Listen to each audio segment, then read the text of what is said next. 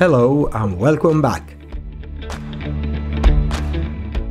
In previous videos, we discussed sections, buttocks, waterlines and diagonals. Also, we have introduced what a lines drawing is and the different views it usually includes. If interested, we have included the links to these videos in the description below. In this new video of the hull geometry series, we will combine the knowledge we have acquired from those videos to learn how to read a lines drawing. Let's get started. We've seen before that sections are lines resulting from the intersection of the hull and vertical planes perpendicular to the hull's plane of symmetry. These vertical planes are represented by lines in the profile plan and plan view of the lines drawing. And the shape of the resulting sections can be observed on the body plan.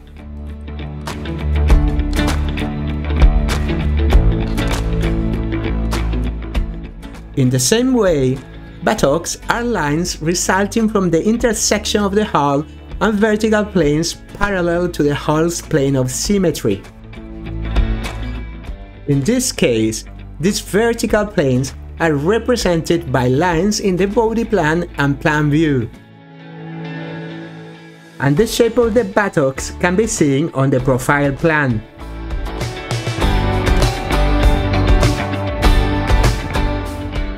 Let's move on to waterlines.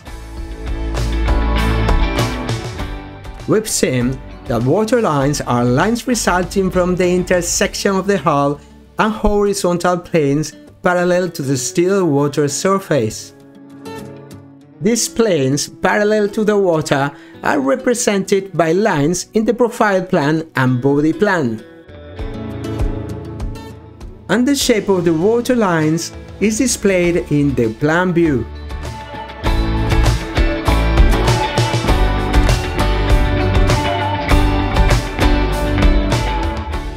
And finally diagonals.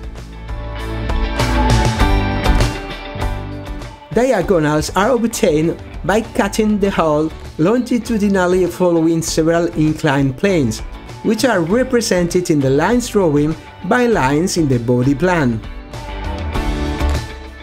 In this case, the shape of diagonals can be observed in the plan view.